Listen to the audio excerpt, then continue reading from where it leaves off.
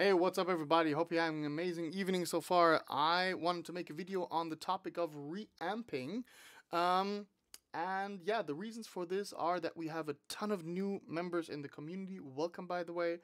And a lot of you guys are asking how you can contribute to the NAM model community and how you can reamp your stuff. So I thought, okay, I'm up for the challenge. I'm gonna make a quick video on how, not, not a quick video, this is gonna take longer. Sorry for that, by the way. Um, yeah, but I said to myself, okay, let's make a video around this and let's focus, in my case, particularly on small interfaces. What I mean by that is interfaces which have a maximum of two input channels and two output channels. This over here is the Line 6 UX2. This is a quite old interface which in fact has more than two inputs, but you only can use two of them at the same time via the software. But it in fact only has two outputs, and that makes it a perfect candidate to show you guys how to reamp in case you have, for example, the Focusrite Scarlett 2i2, or if you have a Steinberg U22R uh, or something, I think also has only two outputs. So that's an interesting experiment, explanation, whatever to conduct so far. Before we do that, I want to talk very briefly about what reamping is, what components are involved, how we set up the physical stuff, and then we move on to how we uh, set up Reaper in order to do so.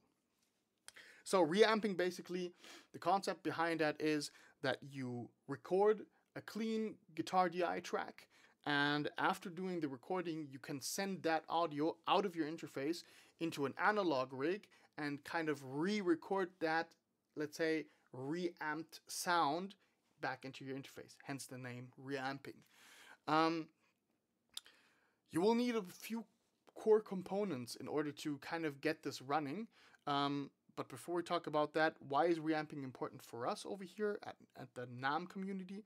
The reason is that all of the profiling, capturing, whatever you want to call it, works this way. You have some sort of reference file and you are reamping that through your signal chain and then you're doing through neural networking, through AI, machine learning, whatever, you're doing a comparison between those two signals, the reference file and your re-recorded signal. And through the neural networking, the difference is measured between what is the reference file and the recorded signal. And then a blueprint is created. And this blueprint is kind of clouded around everything which you play with your guitar. And that is the reamped sound. So it's kind of smacked on top of your uh, clean playing. And that's how the magic happens, like super simplified. In order to get reamping right, you need a certain signal flow, especially with these interfaces. Let's talk about the signal flow and then about the components which are in the reamping chain. First off, you would, let me change the camera for this over here. I got this interface. Yes, I have two of them. um, I got some cables lying over here. It will become apparent what is what when I plug them in. So the first thing is the guitar has to go into the interface into some sort of instrument input or something. After that, you will send out your guitar track to the amplification chain. So you will do that out of one of the outputs over here. Next up, after everything has run through the amplification chain, it will come back to the interface to be once again recorded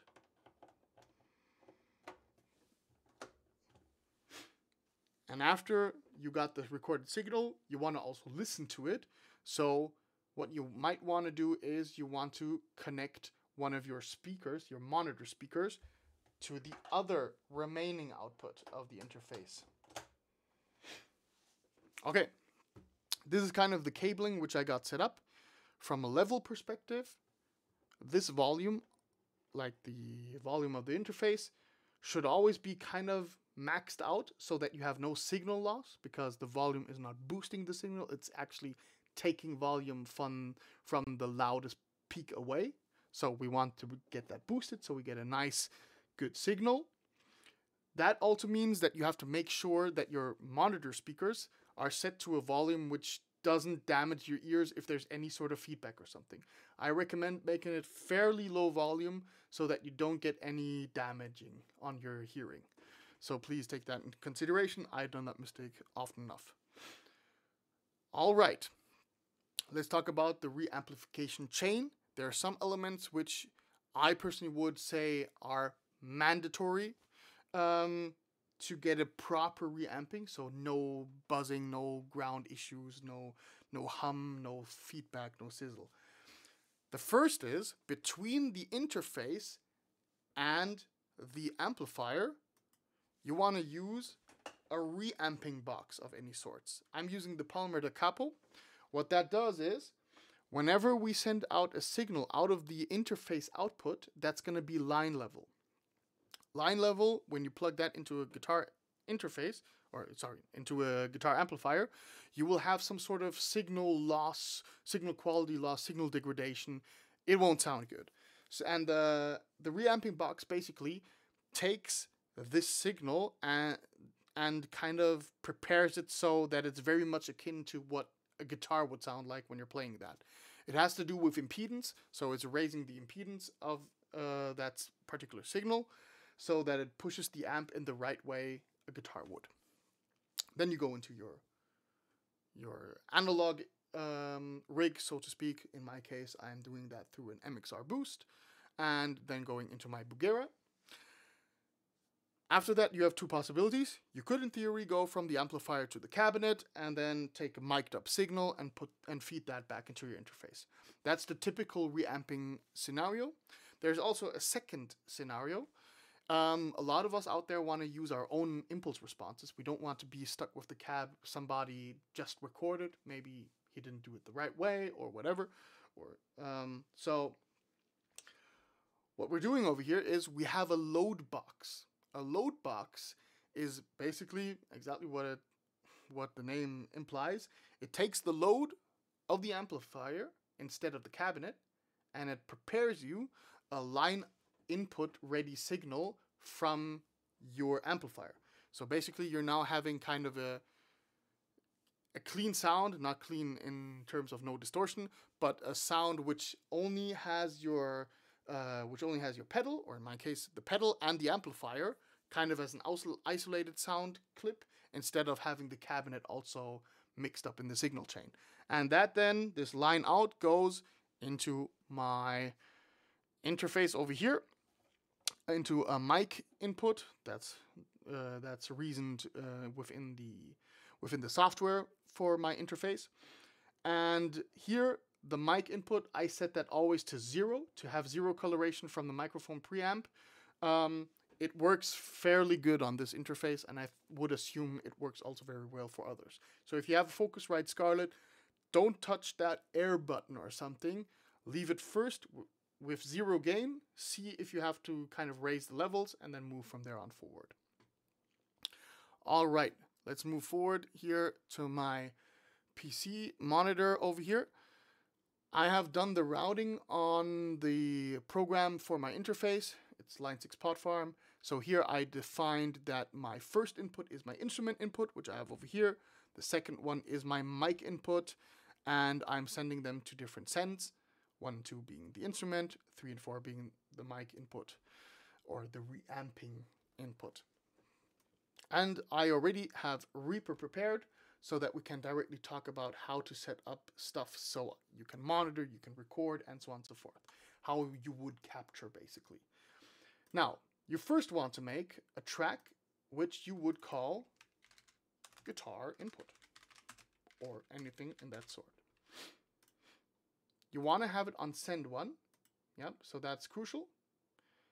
What is now super, super, super important is that you want to pan this particular channel to exactly the output where your um, where your signal is going to your reamping chain.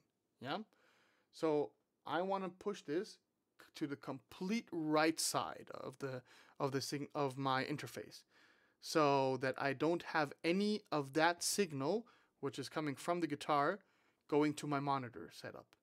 The reason for this is um, we want to avoid feedback loops, and so that's super crucial for this setup. Yeah.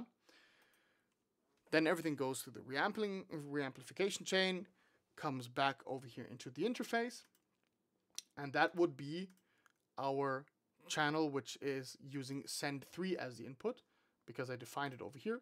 Send 3 is the microphone input, yeah, or the microphone channel input, which we are abusing for our reamping purposes.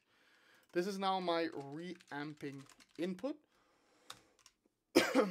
so, this over here, on the other hand, I want to have into the exact opposite direction, fully panned. The reason for this becomes apparent if you think about it. Just imagine I would have it in the center and I would record. What would happen is, and even even worse, I would have the monitoring on, let's say. What would then happen is you send the guitar signal out of your right output that goes through the amplification chain back into the instrument input. Now you have it panned as a center and you have the monitoring on. So that already distorted signal will again go through the right output back into the amplification chain, come back, go back out of the right output into the so you get a feedback loop. Yeah. And that sounds horrible horrible and it's super loud. Maybe I'm gonna I might tinker around with making a very short demo of how screechingly loud and horrendous that is. So make the fuck sure sorry, but make sure that you have this panned 100% left. All right. Now, what I like to do is I like to copy this track. I click over here right on Reaper and uh, the record button and then I say record disable input monitoring only. There's a specific reason to that which I will explain in a moment. So I've now armed all the tracks so that they're recording. I am gonna I'm gonna set the record monitoring on for the guitar so the guitar while I play it live really is in fact showing over here and is sent out of the interface. And um, yeah I will do the same for this track. All right. No feedback. Maybe you can hear the hiss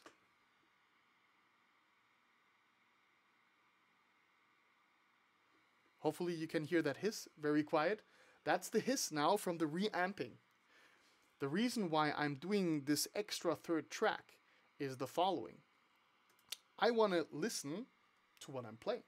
So I'm going to smack an impulse response on this and not bother at all what is actually happening with my recorded track. So I don't have to mess around with my recorded track.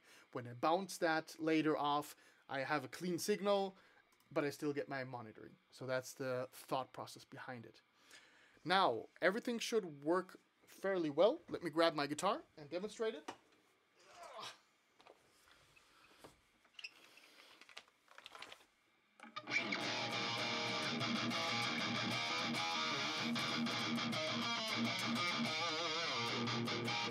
Let me just, out of, uh, for, for shits and giggles, uh, engage all the pedals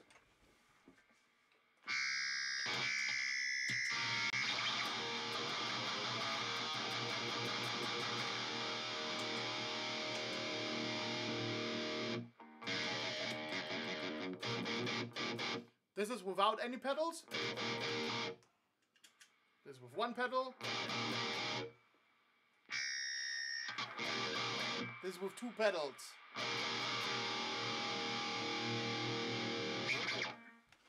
All right.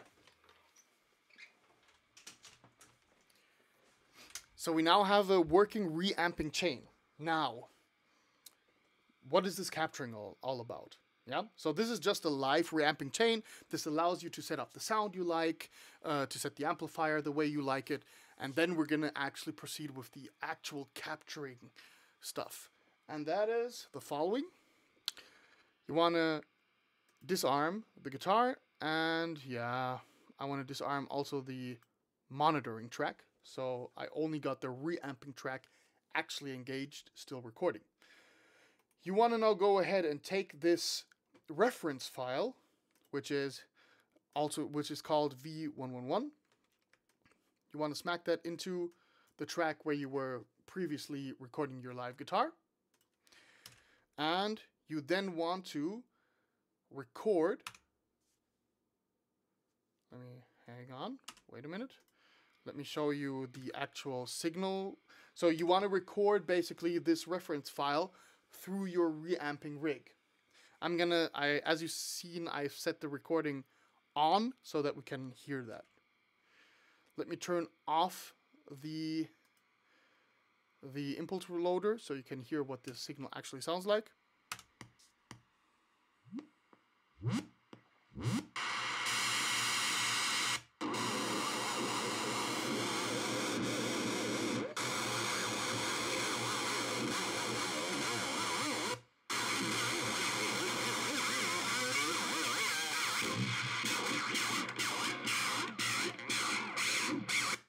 You kind of get the idea. And this is the beauty of how I set things up over here. I can monitor this track over here without affecting anything in regards of the um, the actual recording track. So that makes it very easy for me to not make the mistake to uh, unintentionally disarm the track or do anything wrong in that sense. And you would now go ahead, you would fully record this reference file through the reamping chain. You would take the uh, the recorded file, like this this channel as a solo channel. You would export it as a mono um, 48,000 48, uh, hertz or 48 kilohertz um, signal, and then you would do the training in some shape or form. I wanted to show you why it's so important that we keep these kind of, let's say, pannings the way we do it. Yeah? Let me show you what would happen if I would mess around with that and do a mistake. So, you can currently hear the hissing, right? Let me move this very slightly. Oh, wait a minute.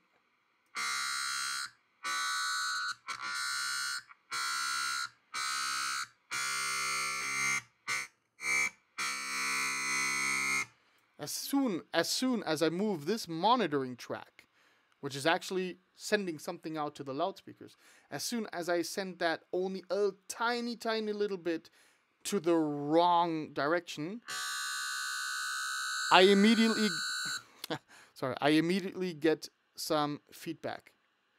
And that is why it's so absolutely crucial that you take care that you take this, let's say, panning serious and that you make sure that your loudspeakers are not blasting at full volume because you will get some sort of hearing damage. I don't want to be responsible for that. Anyhow, I think wow, this this video took nearly 20 minutes. I'm so sorry guys. I'm talking so much bullshit out of uh, in the middle of the night. Okay. Um I hope that this Wait a minute. Let me take that hiss away because that's super annoying. I hope this kind of helped you to kind of grasp the concept behind reamping.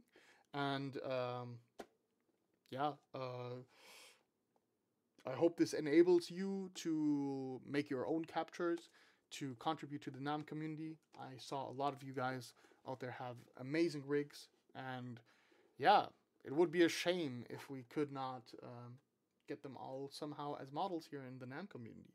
So, yeah, what else to say then? Thank you for watching. If you took it over here up to the stage, then absolutely graceful. Uh, um, appreciate that. If there are any questions, leave them down in the comments below. We all in the community are trying our best to be super helpful and to help each other out um, and to not be toxic douches. And so I really appreciate that. And with that said, get some models cracking. Happy evening and keep it metal. Bye bye.